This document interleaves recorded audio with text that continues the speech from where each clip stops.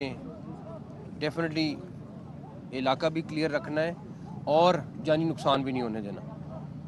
तो उनकी भी बड़ी क्लियर इंस्ट्रक्शन है, सारा कुछ है। उसके बावजूद हम जो मुमकिन है कर सकते हैं, किया है। खैर, उन्होंने आना था आगे। एक चीज़ उनको क्लियर हो जाए कि ना तो उनके इस आने से को मुजाकरात का सिलसिला शुरू होगा। ना उनसे किसी किस्म के मुजाकरात होंगे। उन्होंने आके देखना था, देख लिया। अब अगर वो ये तो करें कि उनके साथ मुजाकरात होने वो कोई सूरत नहीं है। ये आज अभी पीएम की मीटिंग हुई है, उसमें बड़ा क्लियर कट पीएम का डिसीज़न है गवर्नमेंट का डिसीज़न है कि कोई मुजाकरात इनसे नहीं होंगे। कोई ये धरने वालों से मुजाकरात नहीं होंगे। जो जानी नुकसान, जो माली नुकसान हो रहा है पिछले दो दिन में हुआ है, उसकी ज़िम्मेदार एक औरत हैं, जिनका नाम मैं पहले भी बता दिया आपको। वो होली सोली ज़िम्मेदार हैं, ठीक है? इस सारी की सारी फसाद के पीछे वो औरत है और जो मुमकिन हुआ हम उसके ऊपर भी काम करेंगे। वो मिनिस्टर साहब आपको बाकी डिटेल बताएँगे कि उन्होंने क्या क्या किया क्या, सारा कुछ किया मिनिस्टर साहब को बहुत शुक्रिया जी। मैं सबसे पहले तो आपको बताता चलूँ कि वज़ी दाखिला पिछले दो दिनों से फायरिंग के दरमियान शेलिंग के दरमियान फ्रंट से लीड करते रहे, मौके पे मौजूद रहे। हैं तो ये बड़ी बहादुरी की बात होती है कि आप मौके आप मौके पे खड़े रहें, अपनी फोर्स का मुराल भी बढ़ाते रहें, जवानों को जो है वो मोटिवेट भी करते रहें कि यहाँ पे एक हमारे दोस्त मुल्क के सरबराह आए हुए हैं, यहाँ से चंद सौ मीटर की दूरी के ऊपर। उनकी सिक्योरिटी की ज़िम्मेदारी, उनको एक वेलकम यहाँ फील देना पाकिस्तान के अंदर उनके साथ मुआदे करना, तजारत के ऊपर सरमाकारी के ऊपर, ये रियासत पाकिस्तान की ज़िम्मेदारी है। अब एक कोशिश की गई, अब मसला क्या है कि आगे करते हैं ढाल बना के गरीब के बच्चे को।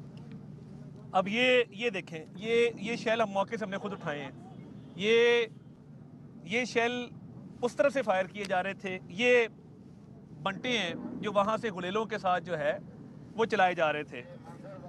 रियासत बिल्कुल कमज़ोर नहीं है। अगर किसी का ख्याल है कि ये थोड़े से शैल मार के थोड़े से कारतूस चला के थोड़े से बंटे फेंक के रिहा कर लेंगे आज इनको वो फेंटी यहाँ से चलाना हमने शुरू की है। और पिछले दो चौक पीछे लेके गए ये आए थे ना कंटेनर पे चढ़ने के लिए। मैं उस वक्त बैठा हुआ था बेलारूस के प्रेसिडेंट के साथ जब यहाँ पे कंटेनर के ऊपर चढ़ाई मुट्ठी भर शरपसंदों ने की। अब मुझे ये बताइए किस पॉलिटिकल पार्टी का मैनिफेस्टो आपको ये इजाज़त देता है? कि आप अफगान शहरियों को अपनी पॉलिटिकल पार्टी में मेंबरशिप दें। हमारी पॉलिटिकल पार्टी में तो ये काम नहीं है। हमारी पार्टी में मेंबरशिप लेने का पहला जुर्व ये है कि आप पाकिस्तानी शहरी हैं तो आपको मेंबरशिप मिलती है। आप इंडिया के शहरी हों, आप अफ़गानिस्तान के शहरी हों, हम मेंबरशिप नहीं देते पार्टी की। अब जो बंदे अरेस्ट किए हैं, वज़ीर दाखिला साहब ने और इनकी फोर्स ने, मैं उनसे मिला जब ये कंटेनर के ऊपर से उनको घसीटते हुए पीछे हम लेके गए हैं। उनसे पूछा है कि, भाई आप कहाँ से आए हो? एक सवात का दिहाड़ीदार मजदूर था, उसने कहा, जी, मुझे तो पैसे दिए गए दूसरा, जो बच्चा था सोलह साल का, जब उससे मैंने पूछा कि, भाई, आप कहाँ से आए हो? वो पश्तो में उसने जब जवाब दिया तो मेरे साथ लोग मौजूद थे, उन्होंने ट्रांसलेट किया तो वो अफ़गानिस्तान से आया था। अब इस वक्त, अल्हम्दुलिल्लाह, रेट ऑफ़ द स्टेट बहाल है। ये एरिया सारा क्लियर किया गया है, जो शरपसंद आगे भेजे थे। और अब बीबी क्या कह रही है? कह रही है, अली अमीन, लीड करो, मैं पीछे आ रही हूँ। यानी आप में अगर इतना है तो आप कासिम को बुलाएँ सुलेमान को बुलाएँ अपने बच्चों को आपके पहले खावन में से भी बच्चे हैं। आप अपने पहले खावन में से बच्चों को बुलाएँ उनको आगे लीड करवाएँ। गरीब के बच्चों को आगे करते हो ये चीज़ें दे के, के जाके मारो। तो ये हमला किया गया था जिसको पसपा किया गया है। और ये जो चाल चली जा रही है जिस तरह मोहसिन नकवी साहब ने कहा है कोई मुजाकरात किसी किस्म के नहीं है। देखिए आपके ऊपर केस है 190 मिलियन पाउंड का आप पे 9 मई के केसेस हैं। अदालतों में ये केसेस हैं, उस पर क्या बातचीत करनी है? क्या एनआरओ मांग रहे हैं? क्या डील मांग रहे हैं? क्या डील दी जा सकती है? क्या एनआरओ किया जा सकता है? तमाम तर केसेस अदालतों के अंदर अदालतों से रुजू करें। तो इसकी तो कतन इजाज़त नहीं है। और देखें, मैं दोबारा कहूँगा, रियासत के सबर को मत आजमाएँ। आप जो चाहते हैं ना कि स्ट्रेट फायरिंग करके ये बीबीआई खून लेने, ये बीबीआई लाशें लेने। अब इसीलिए कह रही है, अली अमीन, तुम लीड करो, मैं पीछे आ रही हूँ। मैं उनको दावा देता हूँ ना? आप फ्रंट पे आए। हिम्मत करें। कि आप बैठ के इतना पार्टी के मामला को चलाती हैं? आप आगे आए फ्रंट से लीड करें, आए, हम डी चौक में खड़े और कंटेनर के पीछे नहीं खड़े हैं। हम कंटेनर के आगे खड़े हैं और इंटीरियर मिनिस्टर ने लीड फ्रॉम द फ्रंट किया है और एक जो बार बार बात हो रही है ना, बड़ा आसान है। गोली चलाना सबसे आसान काम है। एक छट्टा मारे तो यहाँ पे सफाया हो जाए, मगर ये रियासत पाकिस्तान है। हम तशद का जवाब बिल्कुल दे रहे हैं और सख्ती से दे रहे हैं। मगर कोई इस सबर को आजमाए ना। हम इनको लाशें नहीं देना चाहते, ना देंगे। ये रेंजर्स के एहलकार शहीद होते हैं, पुलिस के एहलकार शहीद होते हैं। उनका खून किसके हाथों पे हम तलाश करें? और ये लाशें लेने आई है, ये मुल्क में नारकी फैलाना चाहती है, हम इनके हाथों में नहीं खेलेंगे। सख्ती से निपटेंगे और जवाब देंगे, किसी को यहाँ पे चढ़ाई की इजाज़त नहीं देंगे, आए आगे हम तैयार बैठे हैं। मगर अगर कोई ये समझे कि रियासत की कोई कमज़ोरी है तो हमारी कोई कमज़ोरी नहीं है। ये अफगान शहरी, ये शरपसंद जिनको आपने आगे लगाया हुआ है रिकॉर्ड याफ्ता लोग हैं। एक की मैंने आईडी चेक करवाई है, वो पता लगा इस्लामाबाद में डकैतियों में मुलविस है। इस्लामाबाद के जितने डकैत हैं, इस्लामाबाद के जितने रिकॉर्ड याफ्ता वारदाती हैं, जो एफ़ टेन में एफ़ इलेवन में जी टेन में वारदातें करते हैं, उन सारों ने इस धरने का शेल्टर इस वक्त लिया हुआ है। मैं आपको वसूख से कह सकता हूँ। मेरे पास एविडेंस मौजूद है, मैं टाइम आने पर हम आगे लेके आएँगे, मगर वारदातियों को टेररिस्ट को अफगान शहरियों को शेल्टर देना और पॉलिटिकल प्रोटेस्ट के और मैं इंटरनेशनल मीडिया को भी आज ये कहना चाहता हूँ please you are trying to portray as if the government is coming down hard on peaceful protesters. This is not a peaceful protest. I have in my hand shells of tear gas. I have in my hand marbles which are being pelted upon the police personnel and the rangers. I would like to request you that this is a political rhetoric which they are playing upon. Please do not fall prey to this rhetoric because they are violent protesters. They want to destroy the peace of Islamabad they want to sabotage a foreign visit from the president of Belarus, which is taking place at this point in time. We had offered them to go elsewhere. They can go into their own province and stage this protest. But they are hell bent that they want to disturb peace on the Constitution Avenue, which, which will be, which will not be allowed. The Interior Minister had offered to hold this protest at Sangjani. It would have been a peaceful protest. We would have provided security. We would have made the arrangements for this peaceful protest. But why is it that they are insistent on holding this protest at D Chowk because they want to destroy the peace of Pakistan. They want to vandalize public and private property and cause damage to life and property of private citizens. And they have amongst them Afghan citizens, terrorists, dacoits, robbers, all kind of people who are wanted by the law enforcement agencies have joined their protest. तो ये परमन protest नहीं है और जो लोग समझते हैं कि इतना आसान है कि यहाँ पे लाशें गिरा दें लाशें नहीं गिराई जाएँगी मगर सख्ती से निमट रहे हैं दोबारा आके दिखाएँ हम खड़े हैं भरपूर जवाब देंगे और किसी को कॉन्स्टिट्यूशन एवेन्यू का रुख नहीं करने देंगे सर ये बताइएगा सर ये बताइएगा कि पाकिस्तान तहरीके इंसाफ जो है वो चिड़िया पर भी नहीं मार सकेगी इस्लामाबाद में। बड़े बड़े कंटेनर बड़े बड़े खड्डे खड्डे खोद कर मट्टी फैलाएगी। उसके बावजूद पहुँच के पहली बात सफ़र सर सुन नहीं नहीं नहीं पहले आपको मैं कर दूँ। हमने कोई खुदाई नहीं की इस दफ़ा। कोई एक खड्डा दिखा दें जहाँ पे इस्लामाबाद में हुआ हो के रोकने के लिए खड्डा तो पहली बात तो ये मैं ठीक है सर। जो मट्टी पड़ी हुई है सर ब्लू एरिया के पास सारी मट्टी की बात दूसरा सर ये सफ़र कर रहे हैं इस्लामाबाद के सेक्टर जी सिक्स के लोग। पोली क्लिनिक में जो लोग एडमिट हैं, वो सफ़र कर रहे हैं एफ़ सिक्स के लोग सफ़र कर रहे हैं। कब तक ये मेला लगा रहेगा, इस हवाले से बता दें, शहरी ये जानना चाहते हैं। पहली बात ये, पहली बात ये कि मैं आई थिंक पिछले एक हफ़्ते से मिनिस्टर साहब पिछले एक हफ़्ते से हम खुद कह रहे हैं, हम नहीं इस्लामाबाद के शहरीों को तंग करना चाहते। इतने सारी चीज़ के बावजूद आज भी मोबाइल सर्विस चल रही है। जो इस्लामाबाद के रास्ते पिछली दफ़ा ब्लॉक हुए थे, वो वाले उस तरह रास्ते ब्लॉक नहीं हुए, सारी चीज़ के बावजूद हम जहाँ तक हो सकता है रिलीफ देने की कोशिश करें, लेकिन आपके सामने मजबूरी है, उनके हाथ में वेपन्स हैं, उनके हाथ में गुलेले हैं, उनके हाथ में हर तरह की चीज़ है। और जो मिनिस्टर साहब ने भी कहा, ये बात कोई ऐसी बात नहीं है कि हम सिर्फ़ सियासी तौर पे कहना चाह रहे हैं कि जी ये लाशें देखना चाहते हैं। प्रैक्टिकली मैं आपको बता रहा हूँ, मैंने दो दिन में जो विटनेस किया है, हर चीज़ से मुकरते हैं, हर चीज़ से लेफ़्ट राइट होते हैं। उनकी जो इंटेंशन है, मैं आपको बता नहीं सकता बट वक्त आने पे आपको, आपने खुद देख लिया आज। आए थोड़ी देर के लिए, आपने देखा किस तरीके से आए, क्या किया सारा कुछ। तो ये बात नहीं है कि हम इस्लामाबाद के शहरियों के लिए एहसास नहीं है। हमें एहसास है, हम जितनी मुमकिन हो सकते हैं उनको फैसिलिटी देने की कोशिश करें, लेकिन क्या करें? गिरफ़्तार किए गए हैं, जो बंदे गिरफ़्तार किए गए हैं, उस पे इंटीरियर मिनिस्टर साहब के हुक्म पे पर्चे दर्ज हो गए हैं। और देखें ये अब बेल नहीं होगी। जो बंदे हमने आप गिरफ़्तार किए इधर डी चौक से गिरफ़्तार किए हैं। और जो मजीद भी आएगा हमने वादा किया था गिरफ्तारियों को गिरफ़्तार हुए मगर अफगान शहरी के ऊपर हम एडिशनल जो है वो बाकायदा दफात लगा रहे हैं ताकि आइंदा कोई गैर मुल्की जो है वो आप कहते हैं। आप कहते हैं कि पैलेट गन्स यूज़ हुई या तशद होता है एक मामूल बन चुका है। आए रोज यहाँ पे मुजाहरे होते हैं आए रोज शहरी परेशान होते हैं।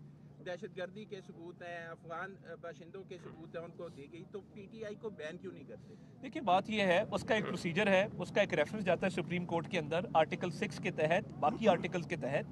आ, वो प्रोसीजर जब वक्त आएगा कोई फैसला होगा उसको फॉलो कर लिया जाएगा। मगर देखिए हमारी कोशिश क्या थी कि एक प्रोविंशियल गवर्नमेंट है कुरम के अंदर 50 लाशें पड़ी हैं तेहरान टाइम्स ने फ्रंट पेज की खबर लगाई है इनके कान पे जूनी रिंगती है क्या इन्होंने कुरम के लवाकिन के साथ कोई पैकेज अनाउंस किया है? या वहाँ पे कहा है कि हम आरपीओ को बुलाते हैं, हम डीआईजी को बुलाते हैं, हम बैठते हैं, उनसे बातचीत करते हैं। सूबे में आग लगी हुई है, जवानों की लाशें हम उठा रहे हैं अफसरों की लाशें हम उठा रहे हैं। तो देखिए, अठारहवीं तरमीम के बाद क्या सूबाई law and order primary responsibility सूबाई हुकूमत की नहीं है? ये सिर्फ़ ये है कि आप गाड़ी पे नाच गाना करें यहाँ पे आके, गाड़ी की छतों पे चढ़ के, बड़के मारे वफाक के ऊपर अपने घर में आग लगी हो और आप दूसरे के घर में आग लगाने की कोशिश करें तो इसका अंजाम कभी भी अच्छा नहीं।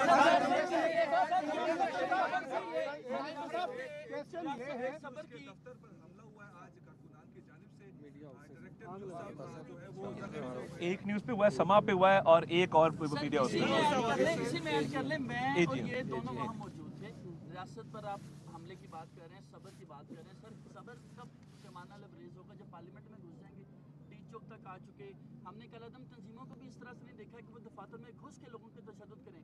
मैं और ये आधा घंटा वॉशरूम में रहे जी, वहाँ पर खुद को बचाए महसूर रहे एक न्यूज़ पर हमला हुआ समा न्यूज़ पर हमला हुआ थ्री सिक्सटी फाइव पे हुआ, जियो पे हुआ। सर, जो मामला है, वो सबर कब आपका लबरेज होगा? देखिए ये जो लोग इसमें मुलविस हैं, उनकी सीसीटीवी फुटेज ऑब्टेन की जाएगी, आप भी हमारी इसमें मदद करेंगे। उनको कैफरे किरदार तक पहुँचाया जाएगा। बचेगा कोई नहीं। आज मैंने देखा ना, रो रहे थे। इधर जो बंदे गिरफ़्तार हुए रो रहे थे। अब रोने का क्या फ़ायदा कि जब आपने तमाम हदें पार की उसके बाद आपकी गिरफ्तारी अमल में आई अब आप रो रहे हैं। तो ये मैं इस पे इनकी, खबासत की इंतहा ये है कि वो रेंजर्स के जवान शहीद हुए और इन्होंने सोशल मीडिया पे चलाया कि वो रेंजर्स के जवान तो अपनी गाड़ी में खुद कुचले गए। उसके बाद सारे चैनल्स ने मिनिस्टर साहब ने सारा को ब्रीफ किया वो सीसीटीवी दिखाई। आप इनकी खबासत की इंतहा देख सकते हैं कि ये किधर जा सकते हैं और वो कुछ भी कर सकते हैं।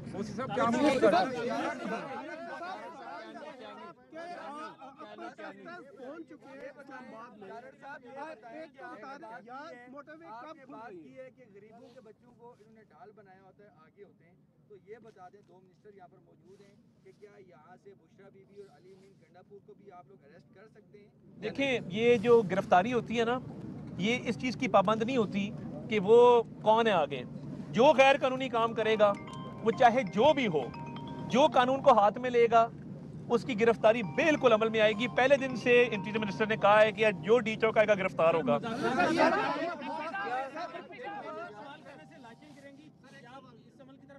बिल्कुल भी नहीं। बिल्कुल नहीं जाएगा।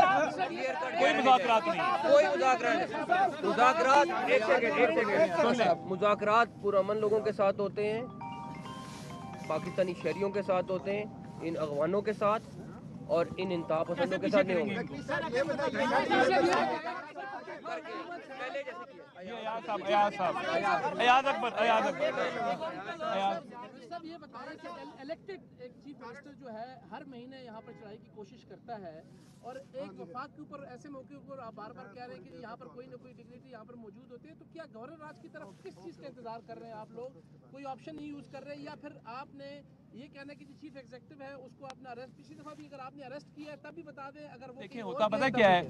अगर ऐसी लास्ट रिजॉर्ट में ऑप्शन एक्सरसाइज की जाए जेब से पख्तून कार्ड निकल आता है और उस वक्त कहा जाता है कि जी देखें पख्तूनों के साथ ज्यादती हो रही है। हम पख्तून अवाम हमारे भाई हैं उनके मैंडेट का एहतराम करते हैं। मगर हमें इस तरफ़ ना धकेला जाए कि कुछ सख्त से सख्त एक्शन करें तो मैं समझता हूँ कि ये होश के नाखून लेने चाहिए। अली अमीन अभी भी मुझे लगता है। कि वो बुशरा बीबी के झांसे में नहीं आ रहा। वो कह रही है आगे लगो मैं पीछे से आती हूँ तुम आगे लगो।